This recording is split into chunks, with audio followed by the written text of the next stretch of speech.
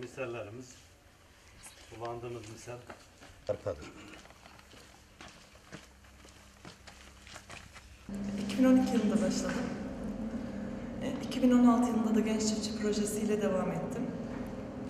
30 bin lira hibe alarak Tarım Bakanlığımızın hibesiyle Çoban Uşağı Köyü'ne ot- 100 metrekare yer koyduk. O hibe karşılığında oldu. Daha sonra da kaynımın desteğiyle burayı aldık. Burada yaptık. 3 üç odamız var üretim olarak. İnternette tanıştım. Yani şöyle bir şey yani o yıl kayısılar yanmıştı. Yazında biz köye gidiyoruz. Çocukların okul nedeniyle şehirdeydik. Ne yapabilirim, yazı nasıl değerlendiririm diye düşünürken internetten bir poşetle başladım yani. Bir poşet aldım, 5 kilo tohum aldım. Kendim denedim samandan kaynatarak yani çok ağır bir şekilde. 30 poşet yaptık islim dalında. Bu şekilde ilerledim yani 12'den 16'ya kadar öğretmenlere tanıtım yaptım. Yemeklerini yaptım, götürdüm.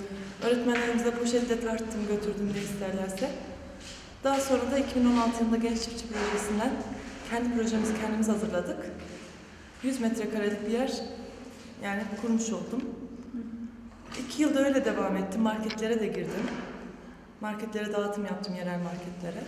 Yani ihracat olarak düşünüyorum. Benim amacım oydu. İlk girdiğimde de öyle bir şey olabileceğini düşündüm. Fakat daha gerçekleştiremedim. Şu an daha ufak çaplı yapıyoruz yani. Ufak çaplı sayılıyor dört odada. Biz bu torbaları nasıl diyeyim size? Önce e, kompost odamız var. Orada atık pamuğu alıyoruz. Yani bu yüzden de ben Emine Erdoğan'ın sıfır, at- sıfır atık programına katıldım yani. Bu yüzden davet ettiler. Atık pamuğu alıyoruz. Onu dezenfekte ettikten sonra pamuğu ıslatıyoruz ve bunun tohumu var. Misel diyoruz. O miselde birlikte poşetleri ekiyoruz. Onar kiloluk poşetlerimiz. Dolum yapıp odalara taşıyoruz. Odalarda 20 gün mayalandırmaya bırakıyoruz. 20 günden sonra ışık açıyoruz. Yani karanlık ortamda mayalanıyor. Işık açıyoruz, nemini, nemini arttırıyoruz, mantarlarımız çıkıyor. 28 ile 35 gün arasında mantar hasat etmiş oluyoruz. Biz bir odamızda bir buçuk ton kaldırıyoruz yani bir odada. Bir buçuk Şu ton kaç oda var? Dört oda. E, Bunlar da tabii periyotlu koyduğum için sürekli mantar elde etmiş oluyorum. Sadece yazın üretim yapamıyorum. Hem kayısı işimiz var hem de çok sıcak oluyor. Daha önce ne iş yapıyordunuz? Ev hanımıydım. Bu işi tanıdıktan sonra herkes bana sordu. Üniversite mezunu musunuz? Ne, ne, neden dolayı buna girdiniz diye. Ortaokulu 7. sınıf terktim.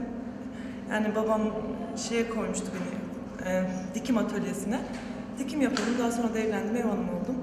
Fakat açıktan liseyi bitirdim, lise diplomamı aldım. Mantarın eğitimlerini aldım, belgelerini aldım yani usta öğreticilik belgesini de aldım. Fakat ben bir günlüğüne ev temizliğine gittim. Yani sırf nasıl yapabilirim? Eşim karşı çıkıyordu yani yok olmaz öyle bir şey diyordu başta mantarda. Haberi de olmadığı için ben bir günlüğüne gittim 80 TL'yi aldım. Direkt yani ATM'de mantarın olan yerine yatırdım. Bana bir hafta sonra mantar geldi, üç gün sonra. Hazır kompost bu, bu şekilde aldım bir tane. Bir de 5 kilo miselini aldım. Onları ekim yaptım.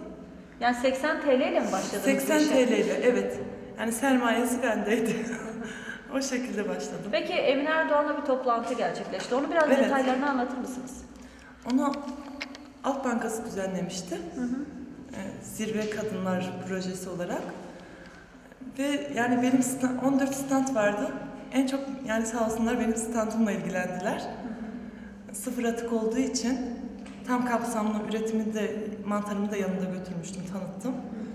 Çok ilgilendiler, çok beğendiler kendileri. İstiridye mantarından ne kadar gelir elde ediliyor? Yani öneriyor musunuz mesela vatandaşlara üretim yapmayı?